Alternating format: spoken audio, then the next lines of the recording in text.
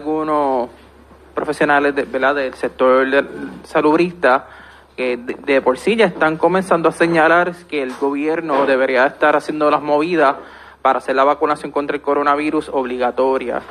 Eso estará en la agenda de discusión. Yo sé que es un tema controversial, pero el asunto es que se está viendo que los porcentajes de vacunación, al menos en Puerto Rico, no están un aumento considerable y en Estados Unidos también no están aumentando, siguen una baja muy, siguen un camino muy lento y pues vemos que está el repunte de casos de COVID gracias a la variante de Delta.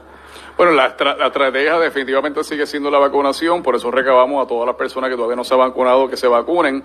Eh, así que estaremos esperando el reporte de la coalición, miraremos las recomendaciones del Departamento de Salud y todo está bajo consideración, incluyendo esa posibilidad sujeto a lo controversial que, como tú me señalas, pudiese tener. Pero al final del día, yo creo que lo que todos queremos es poder, ¿verdad?, triunfar en esta batalla contra el COVID. Y para eso tenemos que recabar la cooperación de todos. Si todos ustedes conocen a alguien que no se ha vacunado y tiene esta única teoría que todos sabemos que no se sostiene, ¿verdad?, eh, eh, ni bajo la luz del sol, vamos a recabar la cooperación de todos.